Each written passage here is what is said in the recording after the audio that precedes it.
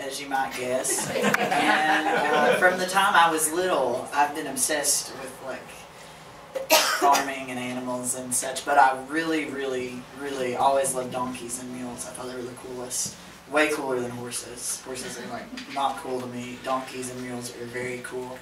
And uh, I always wanted one, but I we didn't really have. Um, the land. I always had goats and chickens, but we didn't have a whole lot of space, so I didn't ever didn't ever get a donkey as a child. And uh, this infatuation went uh, pretty far. It's still going today, actually, but it um, really seeped into my high school years as well when I finally was able to like make my own money. I just took it to Tractor Supply every week and I blew it on all the books and magazines about how to raise donkeys and mules. In fact, I'm probably the only person in Powell Valley High School who could have told you how to artificially inseminate a donkey correctly. and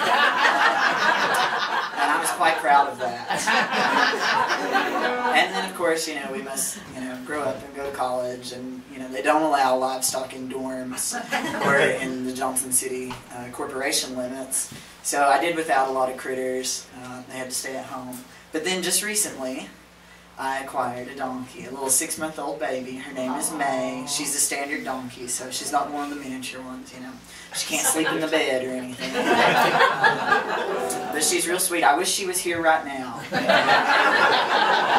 she could just be prancing around and getting in your tea and all that fun stuff. So, well, I said all that to say this. This is a song called Whoa Mule.